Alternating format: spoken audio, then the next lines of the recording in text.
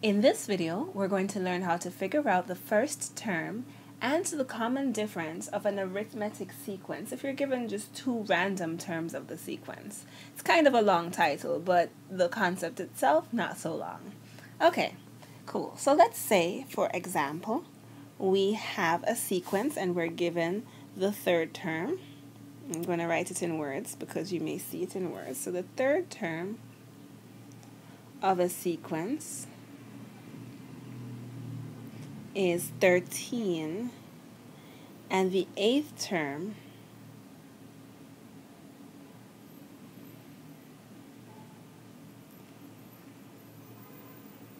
ooh, is 28. So I want to find U1, I want to find D, I also want to find the general term for good measure. All right.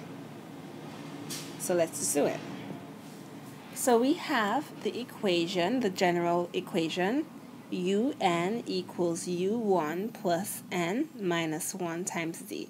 So that's just the general term formula. It's usually on a, any formula sheet or, or you usually learn it as soon as you start off arithmetic sequences. So that's just saying the nth term of a sequence is equal to the first term. So let's make sure you know this. The first term plus n is just the position of the term. D is the common difference. And un is the nth term, which is any term. Okay, so we do know the nth term in this case. We know actually two versions of the nth term. We know the third term is 13, and we know the eighth term is 28. So we can use this formula twice.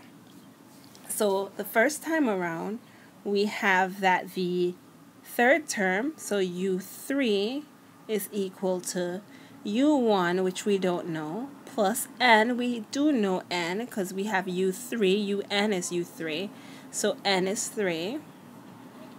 So n, oh, which is 3, I just said that 50 times.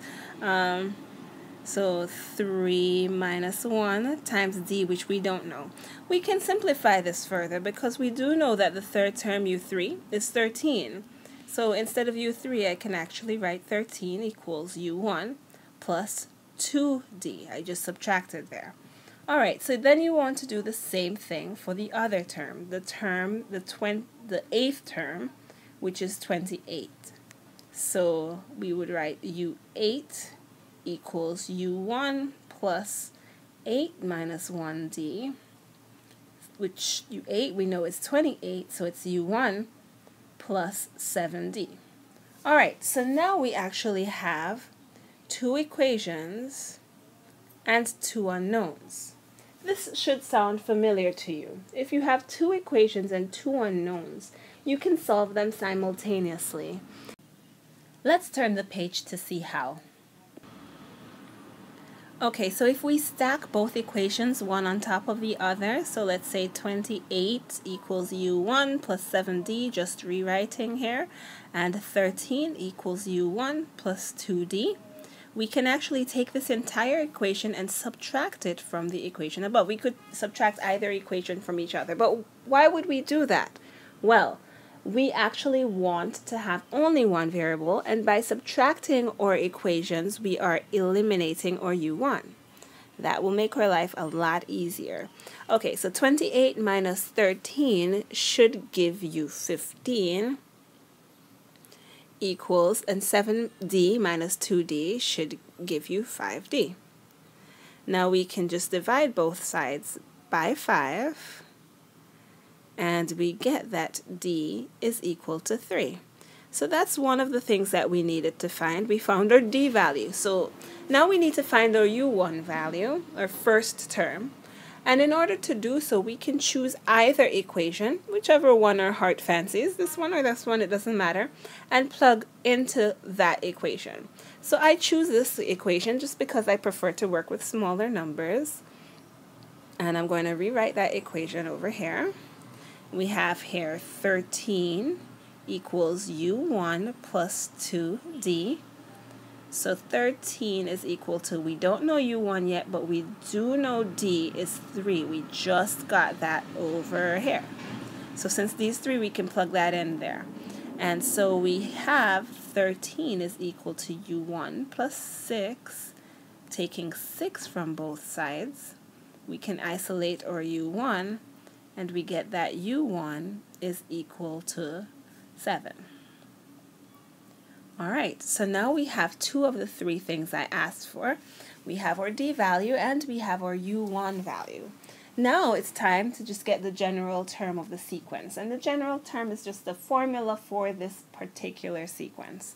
So our general, general term is un equals u1 plus n minus 1d. We've used it before. We used it earlier in this video. So now we're going to take that general, general term and get something more specific for this sequence.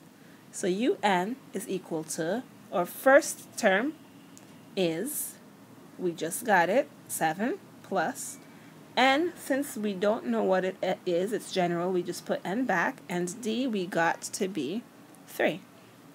So we can plug 3 in for d.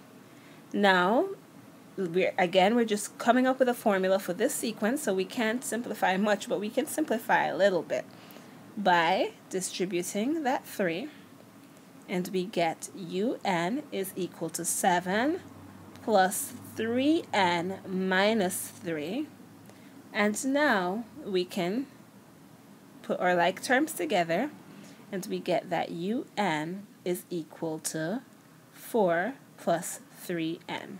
So now we've figured out what our general formula, our general term formula is for this particular sequence. And that's how you do it. So just a quick recap because we did go through a lot here. The first thing that we did, we, we were given two random terms of a sequence. So we took our two random terms, which was the third term and the eighth term, and we plugged into our general term formula to get two equations.